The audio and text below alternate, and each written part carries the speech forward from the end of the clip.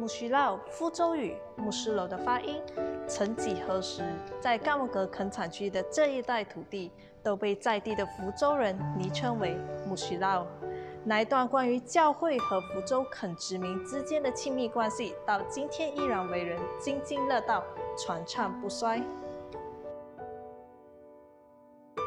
为何这一片土地的居民如此的敬重教会？为何石兆园是西马最多基督教会和信徒的地方？各中到底有什么让人热泪盈眶的动人故事？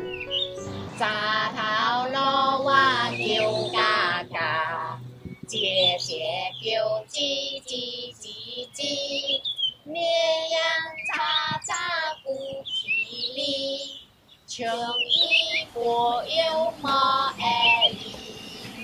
家家妹妹求恳求，家别朋友在在有，红豆比君已经香，叮叮咚咚拍拍手。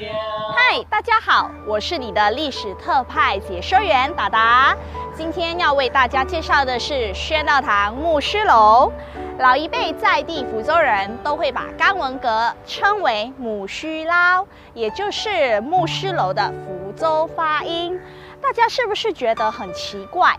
为什么会以一栋建筑物做当地一个地区的别名呢？当然要从它的历史缘由说起。牧师楼顾名思义就是牧师住的地方。在早年，一位宣教士温达牧师抵达石造园，当时教会为他建了一座四尺尺长、二十五尺宽的双层建筑，以亚达盖顶，墙壁则以草席铺上。楼上供宣教士和政府高官巡视时的住宿，楼下则充当孤儿院。当地的居民如果有任何事情，都会来找牧师解决。牧师是他们的头人，towner，也就是他们的领导。因为这样，这里成了民事、社交、医药、财经、教育和行政中心，而它的位置在于垦场区的中心点。相信这也是它成为甘文阁垦场的别名原因之一。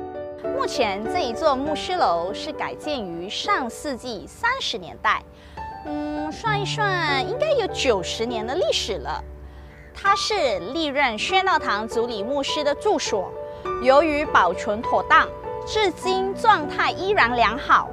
而这一样式的建筑在这里并不是独有的哦。目前在甘文阁新村内仍然有许多外观和牧师楼一模一样的建筑。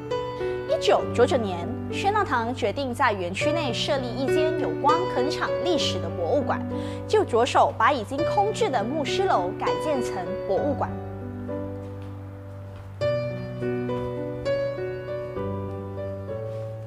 现在，当你从新馆侧门进入，左侧进入眼帘的是上一代的厨房，这是根据当时的真实情况搭建。也许你的阿公阿妈来到会感触良多。天井处则已改成当时垦民的展区。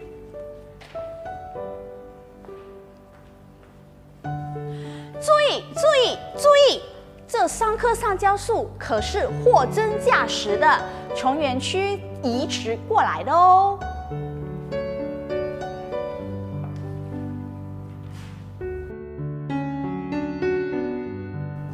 大厅是福州和早期石造园的历史介绍，楼上还保留了一间当时的卧室原型，另外也有一间视听室，让访客观看一些介绍影片。另一则则是石造园教育发展的进展。好了，今天的短片就到这里结束啦，记得为我们的影片点赞哦，同时分享让更多的人看到。谢谢你的观看，再见。